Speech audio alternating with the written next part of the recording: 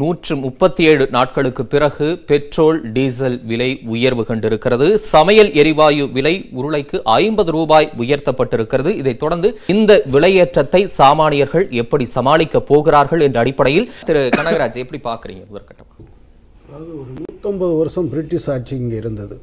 ஏன்னா திரும்ப திரும்ப பிரிட்டிஷ் ஆட்சி டெமோக்ரஸி நல்ல நான் சொல்லி முடிச்சிடுறேனே. நல்லது பண்ணிக்கிட்டே இருந்தது. இந்த நீங்கள் விமர்சகர்கள்னு போடும்போதே எனக்கு பிஜேபியை எதிர்த்து யாராவது பேசுனா அதை மட்டும் விமர்சனம் பண்ணுற உங்களுக்கு பேர் விமர்சகரா? இப்படி தான் அவங்க பேசுவாங்க. நீங்களும் அப்படி தான் இருக்கீங்க. இவங்க ஆ- ஆமா விமர்சகர்னு எப்படி போட முடியும் நீங்கள் பிஜேபி ஆதரவாளர். போட்டுக்கோங்க எனக்கு ஒன்றும் ஆட்சேபணம் இல்லை. விமர்சகருங்கிறது என்னன்னா திமுகவை விமர்சிப்பார் அதை விமர்சிப்பார். அதுவே கூட பாஜகவை சார்ந்தவர்களை அந்த மாரிசமான் மாதிரி அனுப்புறது இருக்குல்ல மக்களுக்கு ஒரு தோற்றத்தை கொடுக்கறதுக்கு அதைத்தான் நீங்கள் பண்ணுறீங்க நம்பர் ஒன்று அதாவது நான் என்ன கேட்குறேன் கவர்மெண்ட்டு எல்லாம் பண்ணணும் அவங்களுக்கு இதெல்லாம் தேவை கரெக்டு நீங்கள் டைரக்ட் டேக்ஸை கார்ப்பரேட் டேக்ஸை எப்போ? அதானியினுடைய ஒரு நாள் சொத்து மதிப்பு ஆயிரத்தி ரெண்டு கோடி ரூபாயாக உயருகிற காலத்தில்தான் அவங்களுடைய டேக்ஸை நீங்கள் குறைக்கிறீங்க. அம்பானியினுடைய சொத்து மதிப்பு ஒரு மணி நேரத்துக்கு தொண்ணூறு கோடி ரூபாய்னு உயரும்போது தான் அவங்களுடைய டேக்ஸை முப்பது பர்சன்ட்லேருந்து இருபத்தஞ்சி பர்சன்ட் ஆக்குறீங்க. இருபத்தஞ்சி பர்சன்ட்லேருந்து பதினஞ்சு பர்சன்ட் ஆக்குறீங்க. இந்த காலத்தில் தான் இதை எடுக்கிறீங்க. எனவே யாரிடம் எடுத்து யாரிடம் கொடுக்கிறீர்கள் என்பது. இன்னொரு விஷயம் என்னன்னா ஆறாயிரம் ரூபா கொடுக்குறேன்னு சொன்னார். சார் எனக்கு அப்படியே மனசு புல்லரிச்சு போச்சு பார்த்துக்குங்க. அதாவது அடிஷனல் டேக்ஸ் ஒரு வருஷத்தில் அதாவது இவங்க வந்த பிறகு பெட்ரோலிய பொருட்களுடைய விலை பொருட்களின் மீது கூடுதல் வரி மட்டும் ஒரு ஆண்டுக்கு மூணு லட்சம் கோடி அடிஷனலாக ஆயிருக்கு மூணு லட்சம் கோடி. இந்த என்கிட்ட டாக்குமெண்ட் இருக்கு. அதெல்லாம் மக்கள் நலத்திட்டத்துக்கு தானே போகுது? கொரோனா. காலகட்டத்துல கொஞ்சம்- கேளுங்களேன். ரொம்ப அவசரம்லாம் பட வேண்டாம். எதுக்கு அவசரப்படணும்? மூணு லட்சம் கோடி அடிஷனலாக வருது. முப்பது கோடி வீடுகள் இருக்கு. அப்படின்னா ஒரு ஒரு வீட்டுக்கு எவ்வளவு அடிஷனலாக பிடுங்கியிருக்காங்க? இந்த நெஞ் முதுகில் குத்துனது வயிற்றில் அடித்ததுலாம் சொல்லுவாங்க. இது நேரடியாக இதயத்தில் அடிப்பது. எவ்வளவு ஒரு குடும்பத்துக்கு? இவங்க எல்லா விவசாயிகளுக்கும் ஆறாயிரம் ரூபா கொடுக்குறாங்களா? இல்லை. ஆனால் சராசரியாக ஒவ்வொரு குடும்பத்திடமிருந்து கூடுதலாக இந்த காலத்தில் பெட்ரோல் வரி விதிப்பின் மூலம் ஒரு குடும்பத்திலிருந்து பத்தாயிரம் ரூபாயை பிடுங்கிக் கொள்கிறார்கள். பத்தாயிரம் ரூபா ஒவ்வொரு குடும்பத்துக்கும் ஏதாவது வந்திருக்கா? ஒன்று இல்ல நீங்க வெறும் விவசாயிகளுக்கான உதவித்தொகையை மட்டும் சொல்றீங்க. அவங்க எல்லா நலத்திட்டையும் சேர்த்து தானே சொல்றாங்க. வீடு கட்டி கொடுக்கிறது ஹண்ட்ரட் பர்சன்ட் எலக்ட்ரிசிட்டி சாலை வசதி பல எல்லா நலத்திட்டங்கள் கொரோனால இருந்து மீண்டு? வருவதற்கான உதவித்தொகை எல்லாத்தையும் சேர்த்து சொல்றாங்க. ஒரு- நிமிஷம் நீங்க அந்த கேள்வியை கேட்டிருக்கணும் நீங்க கேட்கல. மன்மோகன் சிங் அவர் வீட்டுக்கு எடுத்துட்டு போனாரா?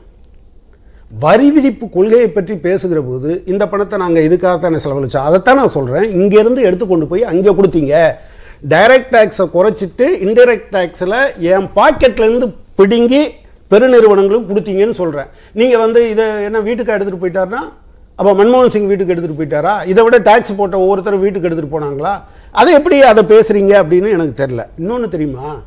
க்ரூட் ஆயில் இம்போர்ட்டு ஒரு வருஷம் முழுவதும் நீங்கள் பண்ணுறது ஏழு லட்சத்து பதினாலாயிரம் கோடிக்கு கடைசி அதிகபட்சம் பண்ணது.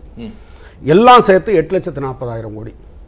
இந்த பணத்தில் அதாவது க்ரூடு மற்ற ஆயில் எல்லாம் சேர்த்து நீங்கள் கொண்டு வந்தீங்க பார்த்தீங்களா இந்த மொத்த பணத்தில் ஃபிஃப்டி பர்சன்ட்டு நீங்கள் எதுலேருந்து எடுத்திருக்கீங்க? டேக்ஸ்லேருந்து எடுத்திருக்கீங்க. ஒரு சாதாரண ஆளை நான் வச்சுக்கிறேன். அப்புறம் ஏதோ இதெல்லாம் கொடுத்துட்டாங்கன்னாங்க. நிறையா பறிச்சுட்டாங்க. ஜிஎஸ்டியில் இன்னும் இருபதாயிரம் கோடி தமிழ்நாட்டுக்கு மட்டும் கொடுக்க வேண்டியது இருக்குங்கிறத மறந்துடாதீங்க. சரி நில்லுங்க இல்லைங்க நில்லுங்க. கேரளால இடதுசாரி அரசு ஆளுது இல்ல, ஏன் வந்து பெட்ரோல் டீசல் விலையை அவங்களால குறைக்க முடியல? அந்த கேள்வி இருங்க இருங்க திரு ஸ்ரீராம் அதான் நான் ஸ்ரீராம் கேட்கிறேன் சார், கொஞ்சம் பாயிண்ட் இல்ல இல்ல. முக்கியமான பாயிண்ட் ஒரு இல்ல இல்ல உங்க முக்கியமான பாயிண்ட் எல்லாம் ஸ்ரீராம். ரெண்டாவது சுற்றுல வரேன். ஒரு ஒரு ஒரு மோசமான பாயிண்ட்னு நீங்க சொல்லும்போது எனக்கு தோணுச்சு. நான் அமைதியா இருந்தேன். கொஞ்சம் பொறுங்களேன் இப்ப என்ன பிரச்சனை? நீங்க விமர்சகர் தானே? கொஞ்சம் கொஞ்சம் அமைதியா இருங்க. நான் பேசவே விட மாட்டேன். இல்ல பேசவே விட மாட்டேன்? ஸ்ரீராம் இருங்க ஒரே நிமிஷம். ஸ்டாப் இருங்க ஸ்டாப் திரு ஸ்ரீராம் இருங்க இருங்க. ஒரு ரெண்டாவது சுற்றுல நீங்க தாராளமா கேள்வி என்ன பேசினாலும் நான் கேட்டுட்டு இருந்தேன். இருங்க திரு Sriram be. Silent be silent don't interfere சரி சரி. ஸ்ரீராம்? இருங்க இருங்க இருங்க. நான் அவர் கேக்குற கேள்வி பதில் சொல்லுது தாராளமா நீங்க கேளுங்க. தாராளமா நீங்க கேளுங்க. முடியாது மிஸ்டர் are you? நீங்க பேச முடியாது. Who are you? இருங்க, சரி, You have to follow that. சரி சரி? இருங்க திரு ஸ்ரீராம் இருங்க இருங்க முடிச்சிரட்டு அப்புறம் அவர் என்ன மாதிரி கேள்வி கேட்கறாரு பாருங்க இல்ல இல்ல கேட்பேன். இல்ல இல்ல இல்ல. திரு கேட்பேன். ஸ்ரீராம் உங்க சுற்றுலா கேட்பேன். தாராளமா பேசுங்க திரு ஸ்ரீராம் கேட்பேன். தாராளமா கூலிக்கு பேசுங்க. மாரடிக்கிறவங்களுக்கு அவ்வளவு இல்ல, இல்ல. கோபம் வந்ததுன்னா இல்ல, இல்ல, இல்ல. என் இல்ல, பணத்தை திரு கனகராஜ். எடுத்துக்கொள்ள இல்ல, இல்ல, திரு போகிற கனகராஜ். அரசை கேட்கிற உரிமை.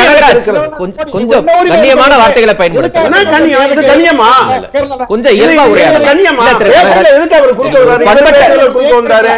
நான் பேசல. பண்பட்ட விருந்தினர் கொஞ்சம் கொஞ்சம் கேரளால ஏன் குறைக்கல சரி, அதான் நான் கேட்டுட்டேன் திரு ஸ்ரீராம் அதை நான் கேட்டுட்டேன். இருங்க திரு. ஸ்ரீராம் நான் கேட்டேன் அதை நான் நான் பேசுவேன். மாட்டேன் நீங்க கேட்டுட்டேன். நேரத்துக்கு நான் பதில் சொல்ல மிஸ்டர் ஸ்ரீராம். சரி திரு கனகராஜ். சொல்லுங்க பதில். மக்கள் பேசுங்க.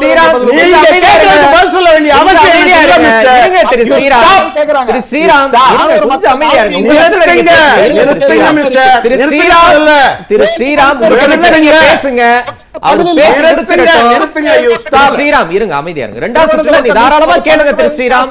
கொஞ்சம் அமைதியா இருங்க. கொஞ்சம் அமைதியா இருங்க திரு ஸ்ரீராம். திரு ஸ்ரீராம். கொஞ்சம் அமைதியா இருங்க ப்ளீஸ் அப்புறம் ஏதோ அவங்க தேர்தல் வாக்குறுதி கொடுத்துட்டா அதெல்லாம் வந்து வேத புத்தகத்தில் எழுதுன மாதிரியா? ரெண்டு கோடி வேலை கொடுத்துட்டாங்களோ? ரெண்டு கோடி வேலை கொடுத்துட்டாரா? தேர்தலில் நாங்கள் எழுதி வச்சிட்டோம்னா கொடுத்துருவோமா? அப்புறம் விவசாயிகளுடைய வருமானம் ரெண்டு மடங்கு ஆயிடுச்சோ அதுக்கு என்ன பண்ணுவார்?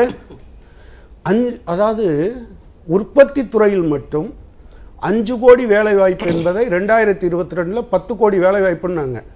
இப்போ சென்டர் ஃபார் டேட்டா அனாலிசிஸ் என்ன சொல்லுதுன்னா அஞ்சு கோடியாக இருந்த வேலைவாய்ப்பு உற்பத்தி துறையில் ரெண்டு புள்ளி ஏழு மூணு கோடியாக குறைந்து விட்டது. பாதி ஆயிடுச்சு சரி. எனவே அது இல்லை. நான் உங்கள்கிட்ட ஒன்று மட்டும் சொல்கிறேன் சாதாரண மக்கள் கேஸ் ஆறு சிலிண்டர் வாங்கினா ஒரு வருஷத்தில் இந்த காலத்தில் மட்டும் ஆயிரத்தி ஐநூறுரூவா கூடும். பெட்ரோல் ஒருத்தர் அஞ்சு லிட்டர் மட்டும் போடுறாருன்னு வச்சுக்கோங்க. முப்பது ரூபா கூடியிருக்கு ஒரு வருஷத்தில்.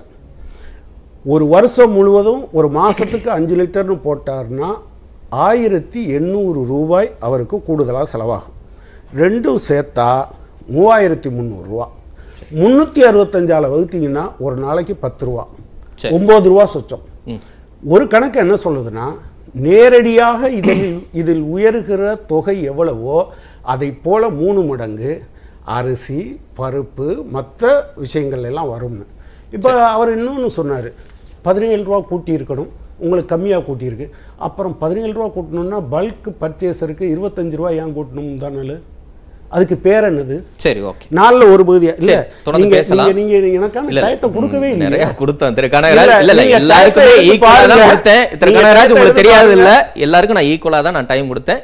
ரெண்டாவது சுற்றுல நீங்க பாருங்க. இல்ல நீங்க பாருங்க. சரி நம்ம. தொடர்ந்து. பேசலாம். ஒரு சிறிய இடைவேளைக்கு பிறகு காலத்தின் குரல் தொடரும். சார் சொன்னார் கார்ப்பரேட்டுகள் அதிகமாக இருக்கிற இடத்துலலாம் மற்றவங்க ஜெயிக்கிறாங்க. உலகத்திலேயே எஸ்ஆர் ஆயில் எங்கே இருக்குது டாட்டா எங்கே இருக்குது ஃபோர்டு இங்கேயும் இருக்குது அங்கேயும் இருக்குது நாங்கள் குஜராத்தை தான் உலகத்துக்கே மாடல்னு சொல்லிட்டு அந்த ஊரில் பிஜேபி ஜெயிச்சிச்சுன்னா அப்போ இங்கே கார்ப்பரேட் ரொம்ப அதிகமாக இருக்கிறதுனால அப்படின்னு அதை சொல்ல முடியுமான்னு. ரெண்டாவது ஜிஎஸ்டி மட்டும் இல்லை அதாவது சென்ட்ரல் கவர்மெண்ட்டையும் ஸ்டேட் கவர்மெண்ட்டையும் ஒன்றா பார்க்கக்கூடாது. நான் என்ன சொல்கிறேன்னா சென்ட்ரல் கவர்மெண்ட் நினச்சதுன்னா அவங்க வந்து ஜிடிபியில் எத்தனை பர்சன்ட் கடன் வாங்கினதுங்கிறத அந்த கோட்டை தள்ளி வச்சுப்பாங்க. ஆனால் ஸ்டேட் கவர்மெண்ட்டு பாயிண்ட் ஃபைவ் பர்சன்ட்டுக்கு கூடுதலாக அதாவது த்ரீ பர்சண்ட்டை விட த்ரீ பாயிண்ட் ஃபைவ் பர்சன்ட் வாங்கணும்னா நீ வந்து சீர்திருத்தத்தைலாம் சீர்திருத்தம்னா என்ன தெரியுமா? இபியை தனியாருக்கு கொடுத்துரு இபி கட்டணத்தை உயர்த்திரு டிரான்ஸ்போர்ட்டை தனியாருக்கு கொடுத்துரு டிரான்ஸ்போர்ட் கட்டணத்தை உயர்த்திருன்னு.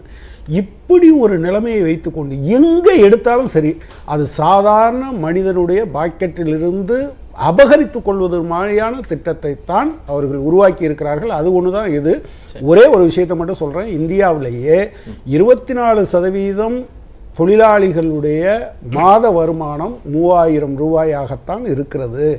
அந்த மூவாயிரம் ரூபாயில் மாதா மாதம் ஆயிரம் ரூபா அபகரிக்கிற வேலையை இந்த கேஸ்லையும் டீசல்லையும் மட்டும் மோடி அரசாங்கம் செய்கிறது.